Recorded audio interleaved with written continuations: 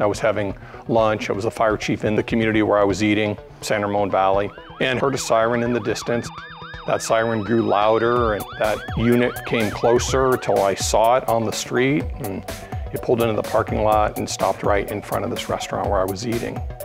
And that's when I learned that right next door, somebody was unconscious, unresponsive, had an AED in my car, and I probably could have made a big difference in the outcome of that event.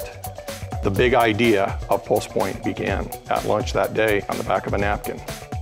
We were teaching CPR in our community, placing AEDs. Dispatchers were giving CPR instructions over the phone, but this sort of exposed a gap that we train a lot of people, but they might not witness that event. So it was an exciting idea to sort of pursue to see if we could bring these pieces together.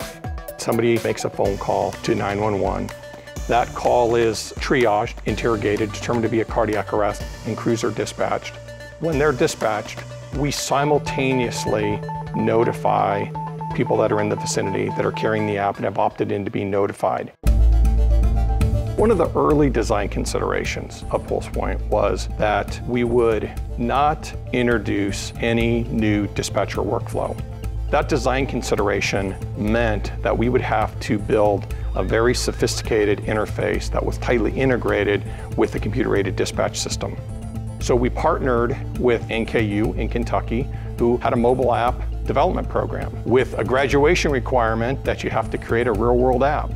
Once that proof of concept was done, we deployed in the community to about 170,000 people to see if it would work.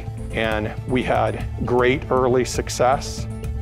And so the fire department actually formed the 501c3 PulsePoint Foundation to help other agencies deploy the app. I left the fire department at that time to run the foundation. It probably took us a year to become FirstNet certified. It requires source code level review of your processes. It requires testing of all your endpoints where data is being sent. We have about 3 million users. We're in more than 4,000 communities. We have notified more than 500,000 people of the nearby need for CPR on more than 150,000 cardiac arrest events. We sometimes will hear it from them directly. I was just activated by PulsePoint. I just went and did CPR. I hope the person does well.